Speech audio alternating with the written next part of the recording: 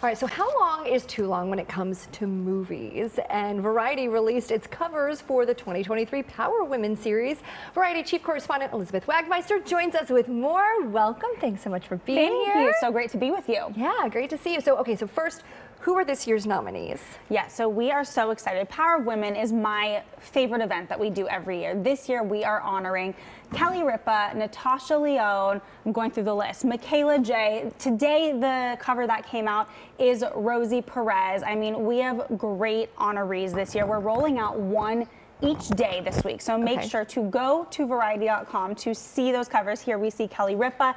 This dropped yesterday. The issues are all on newsstands today, actually. Great. And how did you choose these honorees? You know, every year we choose women because of their charitable efforts. So, of course, we know what these women are doing in the world of entertainment, but what you don't know, perhaps at home, is the charity work that they do. So, Kelly Ripa, who I interviewed, I wrote this cover story. She works with an organization called WIN in New York City, which stands for Women in Need, and it is the top organization that helps house homeless women and their children. And she's been working with them for 30 years since she was on All My Children. Wow. And, and she talks about the sexism that she endured a little bit earlier in her career. Tell us about that. Yeah. So I spoke with Kelly Ripa and she was very raw and honest. I encourage everybody to read the full interview because we, of course, can't get to all of it. But as we all know, Kelly Ripa has been on live with Kelly and Ryan obviously started as uh, live with Regis and Kelly for 22 years, and she has been one of the top women in daytime for over two decades. But what she really comes clean about in this is that while she had so much success, was so famous on television as a superstar, she was battling sexism behind the scenes. She tells me that she didn't have her own office, that she had wow. to ask, beg for her own office. When she asked, she wasn't given one. They cleared out a janitor's closet. Oh, and that's where she worked from. She also tells me that she didn't have her own private bathroom, which for people at home might sound like special treatment, but in the world of TV, certainly on a national show of that stature, it's very typical to have your own bathroom in a dressing room.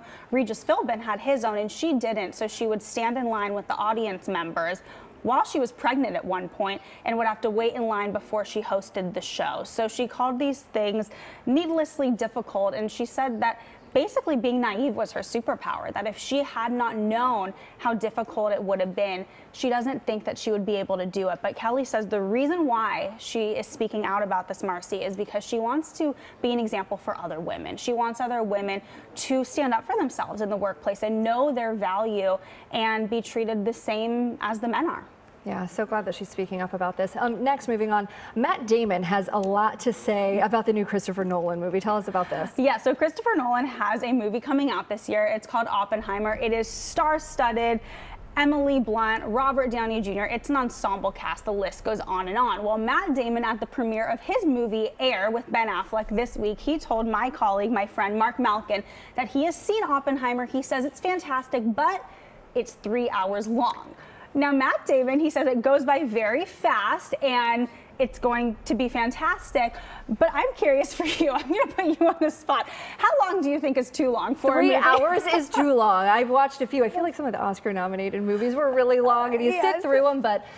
Yikes. Um, we have to move on. We yes. only have a minute left, but uh, we want to talk about Succession season four. So many people love this show, and, and it premiered to record ratings. It did. So I love Succession. I thought the season four premiere was fantastic.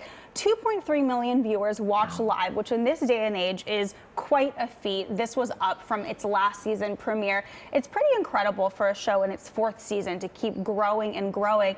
And of course, now we see these shows everywhere from TikTok to memes. It feels like this show